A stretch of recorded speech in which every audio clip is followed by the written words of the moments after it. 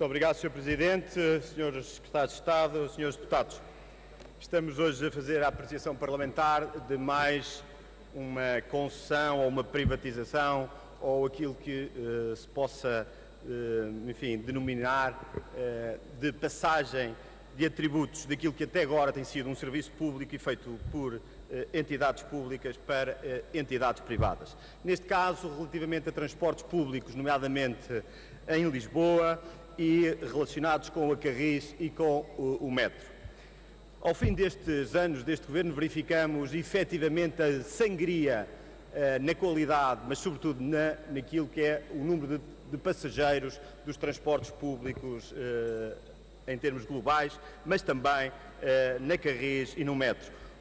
Como, nomeadamente, se compararmos com 2009, com descidas de cerca de 30%, quer na oferta e de 25% na procura uma diminuição tem sido, eh, aliás, acompanhada eh, por eh, um acréscimo muito significativo dos custos do transporte público e também dos custos por passageiro transportado. Isto é, as despesas destas empresas aumentaram quando analisadas em função dos passageiros transportados e as receitas aumentaram muito significativamente.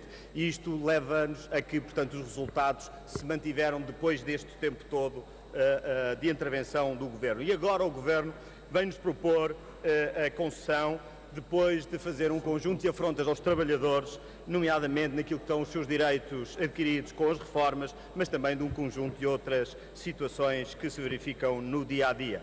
Esta fúria privatizadora levou a que o Partido Socialista fizesse uma apreciação parlamentar e fizesse aqui um conjunto de propostas eh, alternativas que, eh, no fundo, repescam, aliás, eh, disposições que o Governo incluiu no anteprojeto do regime jurídico de serviço público de transporte de passageiros, eliminando as referências, por exemplo, ao caráter de exclusividade, dando a possibilidade ao município as atribuições e competências, nomeadamente como entidade concedente, nomeadamente com habilitação também específica para que o Estado legue no município os poderes de consciente, os poderes de tutela setorial, os poderes no âmbito da função acionista do, uh, do Estado, nomeadamente também a habilitação, não sendo isto um imperativo legal para que o Governo assim o faça, mas sendo uma hipótese que na prática é uma partilha de competências e de progressiva transferência de responsabilidades para o município.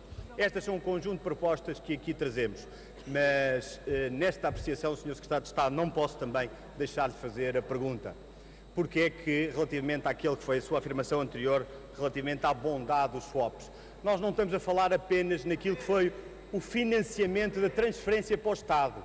Estamos a falar daquela linha de crédito que ficou no privado, na empresa do qual o senhor era administrador e que hoje quem é responsável por esse swap é o Estado, Sr. Secretário de Estado. Diga-nos e responda-nos responda essa pergunta. Qual a razão para que hoje o Estado tenha uma responsabilidade sobre um swap, sobre uma linha de crédito que não é do Estado e está hoje nas mãos de uma empresa privada do qual o senhor era administrador?